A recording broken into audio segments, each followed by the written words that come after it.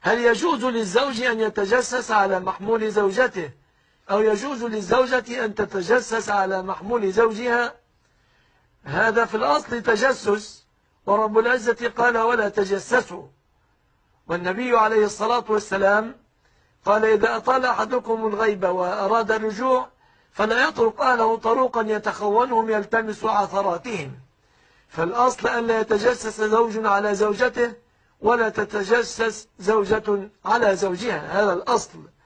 اللهم إلا إن كانت هناك أمور شديدة والزوجة خرجت عن حد الاعتداد إلى الانحراف عياذا بالله وجاءت قرائن تدل على ذلك فله في مثل هذه الحال إذا كانت الشخصية علم عنها الفسق والفجور له أن يتثبت حتى يبني أموره.